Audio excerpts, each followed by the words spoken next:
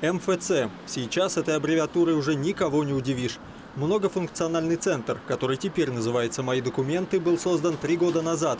И тогда, по словам директора Николая Бондаренко, за сутки обслуживал всего 20-30 человек. А, к примеру, сегодня, в день, когда мы снимали этот сюжет, только к обеду госуслуги получили более 600 человек.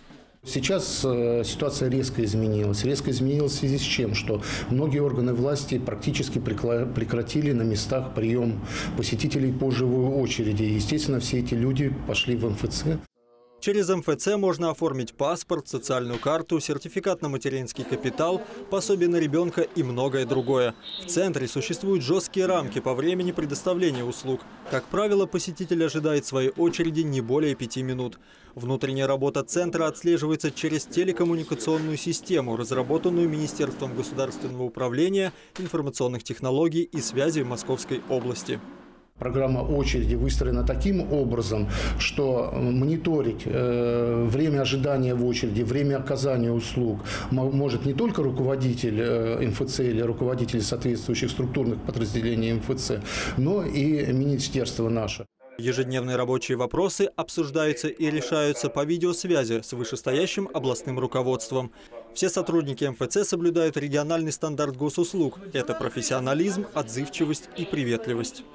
Нужно э, понять человека в первую очередь, для чего он сюда пришел, что он хочет получить, э, вникнуть в его ситуацию и как можно быстрее оформить ему заявление, чтобы он получил услугу. Каждый посетитель после оказания ему услуги может оценить качество обслуживания, поставив оценку сотруднику. Указом президента России уровень удовлетворенности граждан качеством госуслуг, включая муниципальные, к 2018 году должен составлять не менее 90%. Вот по той информации, которая есть на сегодняшний день на территории Московской области, они достигают 95%. То есть это достаточно высокий показатель. И действительно, как мы видим, по крайней мере на данный момент, все посетители поставили единогласно положительную оценку. Ну, оперативность, в принципе, и о том, что о любых изменениях всегда сообщают, э, набирают, предупреждают, по документам помогают. Меня устраивает на все сто процентов.